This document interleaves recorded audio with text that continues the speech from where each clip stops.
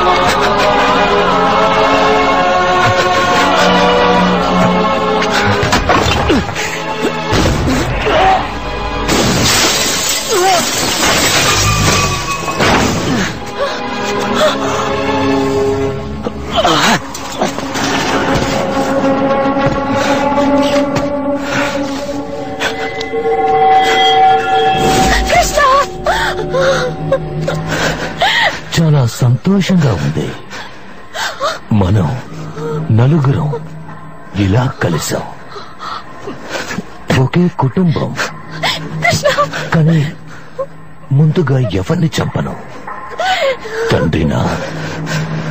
లేక బిడ్డనా?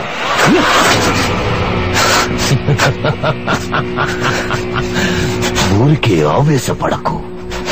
నువ్వు ఏమీ చెయ్యలేని మామూలు మనిషివి. నీ కళ్ళ ముందే నీ బిడ్డని చంపుతాను.